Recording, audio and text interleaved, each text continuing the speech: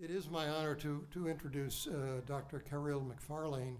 Uh, she's the Senior Program Officer and Director of the Andrew W. Mellon and Thomas R. Pickering programs at the Woodrow Wilson National Fellowship Foundation, come to us all the way from Princeton, New Jersey. Uh, tremendous uh, community activist uh, in the Princeton area. Uh, she teaches a, a, whole range of courses for women and for, uh, she teaches, she's a, a trainer, uh, uh, develops training teams for work overseas in the Caribbean.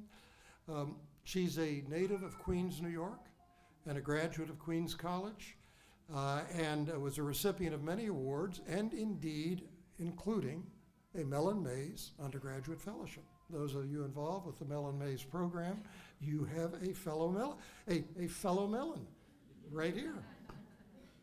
Her doctoral work was at Rutgers University uh, with uh, studying 20th century uh, uh, African diaspora literature, and she's done some intriguing research on the author Toni Morrison, uh, particularly unpacking a lot of her works not just as literature, but as historical works. Uh, and some very interesting work there. She's taught not only literature and writing, but debate, public speaking classes at Princeton and Prince, at Rutgers and at Princeton Day School, uh, has been a test developer for ETS.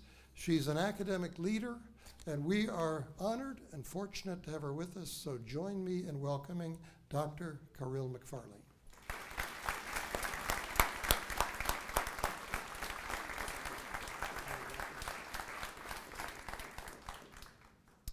Good morning.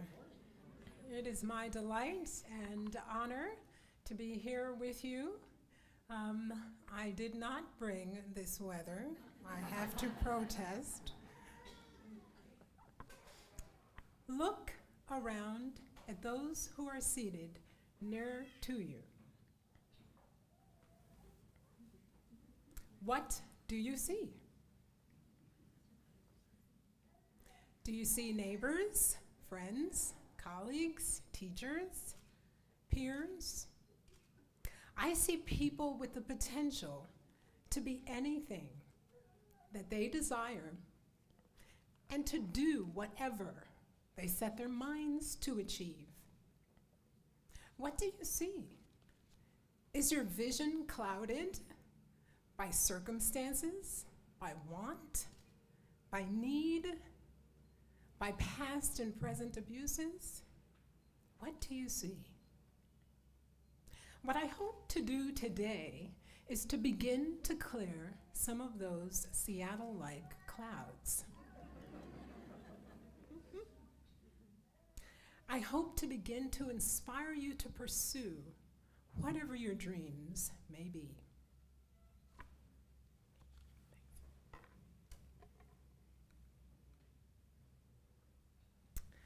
Dreams that are crystal clear dreams that pierce through your circumstances, laser into your wants, and reflect your burning passion.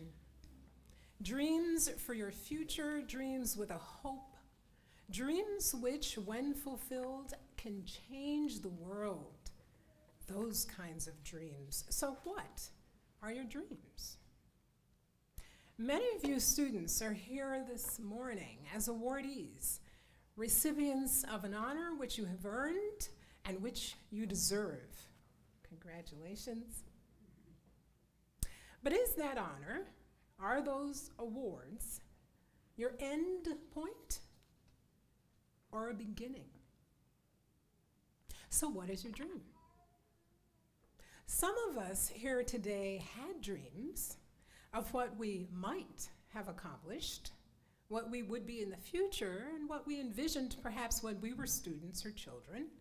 But as we have encountered the circumstances and difficulties of life and run into the mundaneness of the quotidian, we've lost sight of our dreams and maybe laid them aside. What is your dream? While you contemplate that question, I want to tell you a story a story which has served to inspire me and many others, Whether you're actively pursuing your dreams, have given up on them, or never perhaps have even formulated one, this story is about the pursuit of a dream which seemed impossible, but against all kinds of odds was fulfilled. It's a story about my parents. My parents are from the twin island nation of Trinidad and Tobago. Brightened for you there in the square because it's so tiny. They grew up under British rule. It was a British colony until 1962. What was that like? It was quite similar to the slave culture in America, for both here and there, those in power sought to instill the notion that white British culture was the standard of rightness and the level of excellence to strive for. They effectively infused the Trinidadian culture with the idea that the closer you were to that white standard, the better you were as a person. The implications were far reaching, especially in terms of appearance. If you were light complexioned with straight hair, then you were better because you were closer to the standard. Better than someone who was darker complexioned with curly hair. So while light and dark skinned persons interacted without restriction in Trinidad, there was often a sense of inferiority or superiority because internalized racism had taken root. That is a picture of my father. He's a dark complexioned man. It was therefore assumed that he would never amount to anything. When he was born, they called him Baba, as in Baba, black sheep. Mm. He was seen and treated as the black sheep of the family, even as a child. He did not receive, receive respect or love from the majority of his peers or teachers, from his neighbors, his aunts, his uncles, and even his mother. He was rejected. He was beaten by adults just randomly for no reason at all and with no provocation simply because of his color. And he was constantly told that he was bad. So, what did he do? How did he respond to these outrages? He fought. He fought physically, mentally, emotionally, and spiritually. He fought. He subverted the negativity, used the hostility to inspire him, and to drive him to achieve. He determined that he was going to reach the highest level of education possible in Trinidad and abroad, use that knowledge and training to go back to Trinidad and address the issues he saw as urgent, specifically working with those children who were like himself neglected, abused, and assumed to be less than. He purposed it in his heart, he fixed his face like a flint, and he moved forward. First point Have you been labeled? Have you been designated as less than? As inferior? As incapable?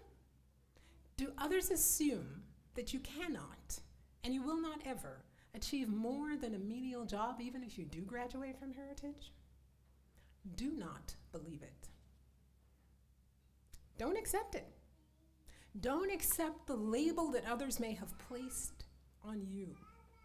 Instead, know and believe in yourself. After he completed his elementary education, my father was to move on to the equivalent of high school. They were under a British system, so I won't go into all the details of that. But the essential point is, it was the equivalent of what we would call high school. But as one of 10 children from a very poor family, they did not have the money to pay for him to go to high school. So what did he do? He approached the principal of the school that he wanted to attend, and they worked out a deal. He said, If you let me go to school, I will not only do well, but I will pay you back if you pay for my school when I graduate. And so that's what happened. They let him go to school on credit, and he promised that he would pay back every penny as soon as he received employment.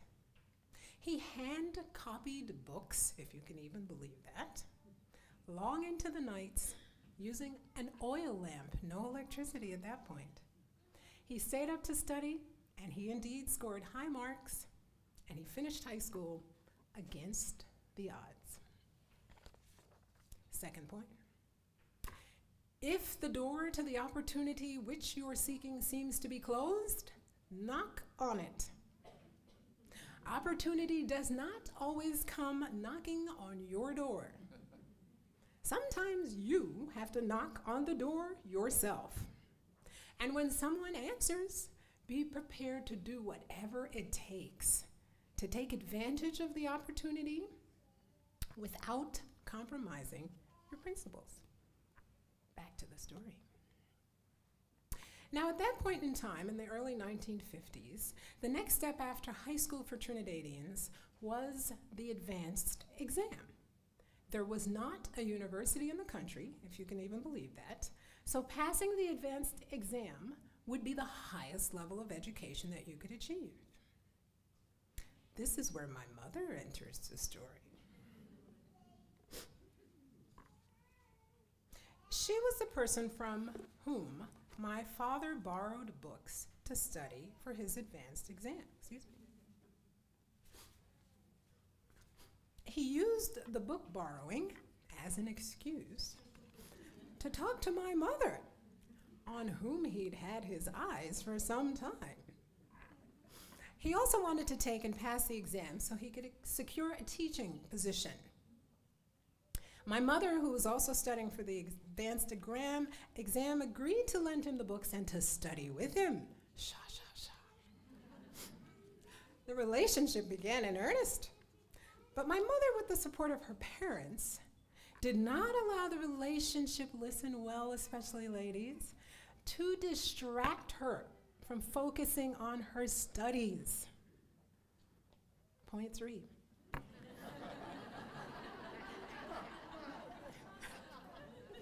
I've seen it too many times. When the door of opportunity opens, don't miss the chance offered because of a love interest. Trust me, it's usually fleeting.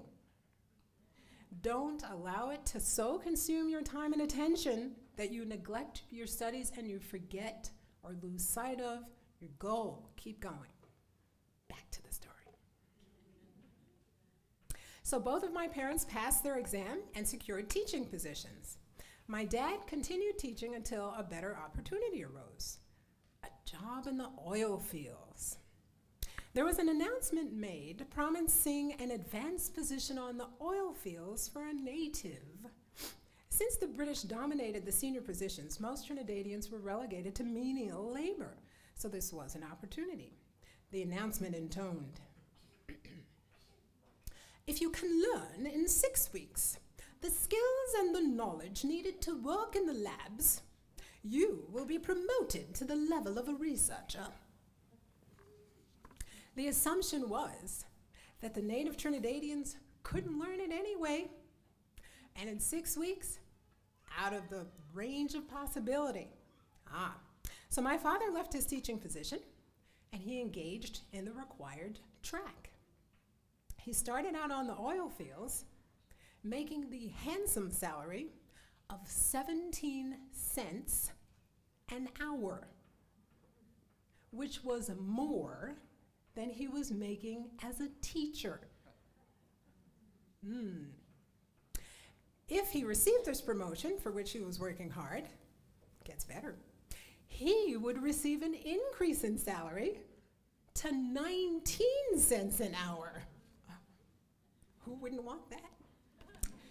So he finished the material in a week and a half. And with quite a bit of argumentation, he was given the promotion. don't accept the status quo. He could have stayed as a teacher. He saw an opportunity, he took advantage. He took advantage of it. So when opportunities arise, take advantage of them. Back to the story. Wedding bells soon tolled for my parents. And they jointly decided to pursue higher education in the United States. My father heard about the one person in San Fernando where they grew up who had traveled to America and would be able to sponsor him. So he secured his visa and the funds needed to pay for a ship's fare, and in June of 1955, he arrived on the shores of New York City. He secured a job in the garment district, worked to get the money to attend college in the fall. For he and my mother had, before he left, applied to a host of Bible schools, which is where they wanted to go, and been accepted to the one institution that accepted blacks in the 1950s. That was Moody Bible Institute in Chicago. He worked all summer and through some amazing frugality was able to save enough money for bus fare to Chicago, for fare for my mother, and for room and board for the fall.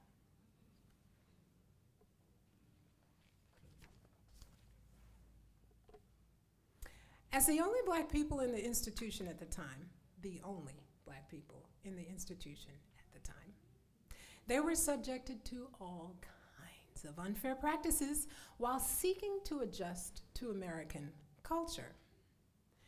They were asked if they really lived with the monkeys and swung from trees. They were asked if they had tails, and if so, could they show their tails? They were not allowed to live together, even though they were married. They were called names and humiliated in classes. They were ignored by their classmates, accused of cheating on exams and papers, and when it was realized that they just happened to be the best students in the entire school, they had their work stolen and attributed to other students. Point five, persevere. Regardless of the obstacles that arise, don't give up. Well, they graduated. Did it. 1957. But Moody only granted certificates and not degrees. They were determined to get a college degree. So they moved on to Wheaton College to secure their college degrees. Without enough money for tuition, they were praying for a miracle, and a miracle occurred.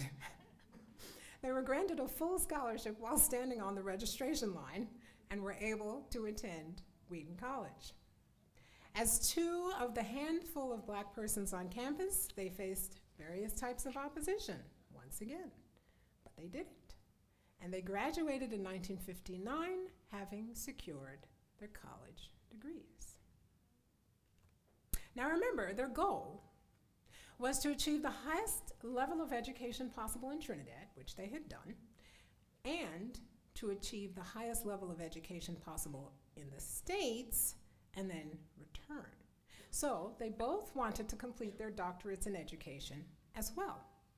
They realized that they would have to take turns because, as it happens, baby number one, my brother, had been born in Trinidad before they left, and baby number two was born in Wheaton. So they decided that my father would secure his degree first, and then my mother would secure hers. My father had heard that Columbia University was the best place from which to receive that degree. Though he had applied, he had not heard back from them. That didn't stop him. Since it was the best program, he decided he was going to go anyway. So they packed up all that they had. They drove from Chicago to New York, arrived in New York on a Saturday evening, were let in by the janitor into married student housing, another mercy. And on Monday morning, somehow, which he didn't explain to me, he was able to get admitted to Columbia and register for classes. Since they were in a new city, they set about looking for work. My father found a position readily, but it wasn't very lucrative.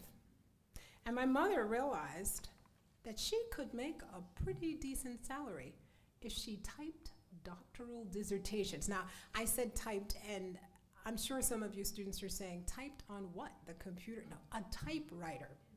Typewriter. So in those days, you had typewriters and not computers. So it was a big deal to get your doctoral dissertation typed properly, and people would pay you fairly well for it. So she borrowed a typewriter and typed the first one. She made $240, which was the most money she had ever made at one time at that point in her life. She took her $240, marched herself over to Smith Corona, and bought, hold your breath, an electric typewriter. it's kind of like the fastest iPad today. That's the equivalent. She then proceeded to type as many as three dissertations a week. And that proved to be lucrative enough to allow my father to leave his job, focus on his studies, and therefore accelerate the process.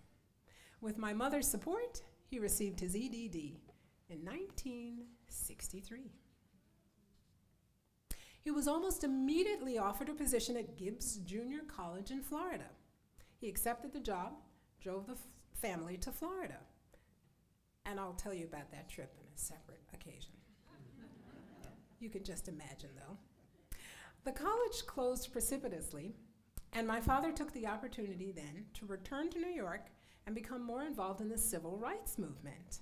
Although he and my mother had never lost sight of their goal of returning home, they also wanted to assist in the movement for civil rights in America. Additionally, two more of my siblings had been born along the way, and the fifth was soon to arrive. That's me.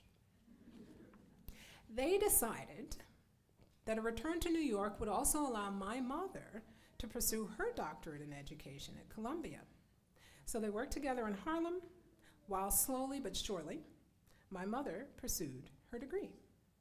By the time I was old enough to recollect details, she had finished her coursework and worked on her dissertation every single day.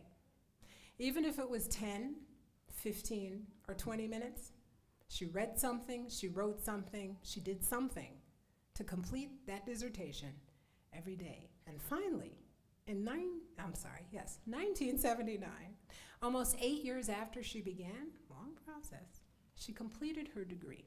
We were all very proud.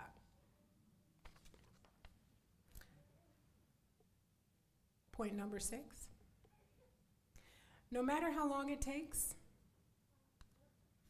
no matter how many obstacles you may encounter, no matter what your other obligations are, take the time every day to work on that project. And before you know it, you'll reach your goal.